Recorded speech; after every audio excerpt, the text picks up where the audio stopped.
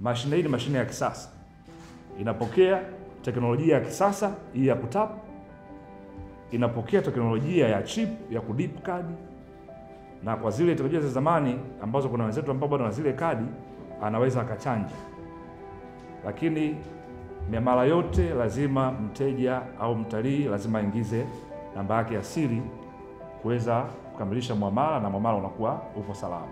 Tuna kadi za aina mbalimbali. Tuna kadi ambayo inaitwa debit card.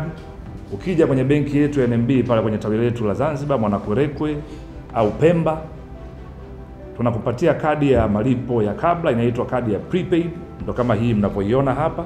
Kuna kadi hii ambayo tuliingia makubaliano na Zato, mnavyoiona hapa ina, ina Zato na hii ni kadi ya malipo ya kabla. Kwa wale wenzetu ambao wana- wanabeba sasa watalii, akifika pale ana, hii kadi yake anaweza na wenyewe kufanya malipo, lakini tuna kadi nyingine ya credit card ambayo ni kadi wanasema ni, ni kadi ya mkopo. Niseme tu sio wateja wa NMB peke yao ambao wanaweza kufanya malipo kwa njia hii ya kwenye mashine. Kama kadi yako imewezeshwa na mitandao mikubwa ya Visa, Mastercard, uh, Union Pay, Maestro, unaweza ukifika kwenye vivutio vya utalii ukuta hii mashine, unaweza kufanya malipo.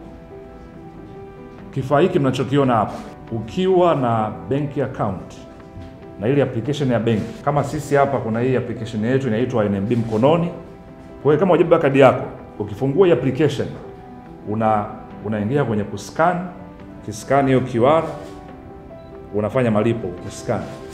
Lakini kama ikitokea simu yako sio sio ya smart, sio simu janja, ukiwa na simu ya kitochi, kuna namba hapa mnaziona, namba lipa namba hii. Kwa hiyo unaingia kwenye simu yako ya kitochi kwa kutumia USSD utafata maelekezo na maelekezo unavyoona hapa kwenye, kwenye uzuri kwenye hiki kifaa huku nyuma kuna maelekezo.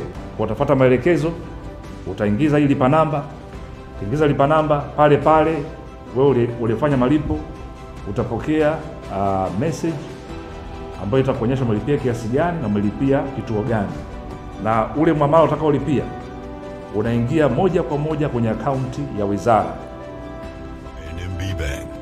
NMB Bank, karibu yako.